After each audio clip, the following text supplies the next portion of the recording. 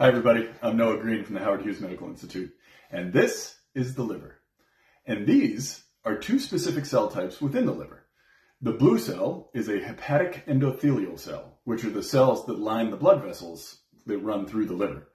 And the yellow cell is a hepatocyte, which is a common liver cell that helps the liver carry out its function, like detoxifying the bloodstream and producing hormones and other molecules that go back into the bloodstream and circulate throughout the body.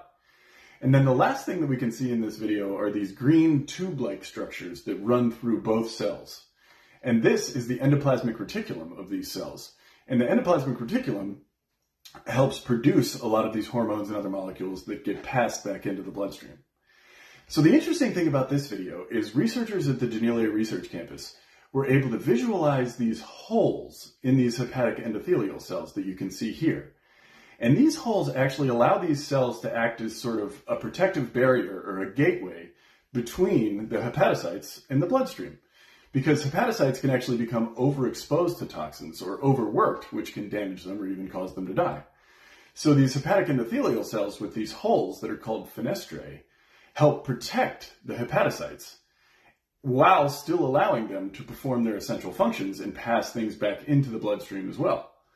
So, videos like this can give us a better understanding of how liver cells interact with the bloodstream, and therefore how the liver functions within the body, which could be the foundation for additional research on liver disease and give us a better understanding of the liver's relationship with all of the other organs in our body. So if you like this, please follow us or come back every day for new content.